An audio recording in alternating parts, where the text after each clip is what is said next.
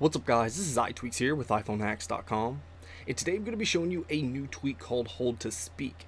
Now what this tweak does is give you the ability to either answer a call directly to the speakerphone or initiate a phone call directly to the speakerphone. So if we jump into our phone app right here and we're in our favorite section, if we tap and hold on a contact, you can see that it automatically starts that phone call on speaker. Welcome to So we're going to go ahead and cancel that right there. And you'll also notice that we can do it in the recents as well. So we're going to tap and hold. And it's automatically going to start on speaker. And like I said, you can also answer a phone call directly to speakerphone. So I'm going to receive a phone call right here.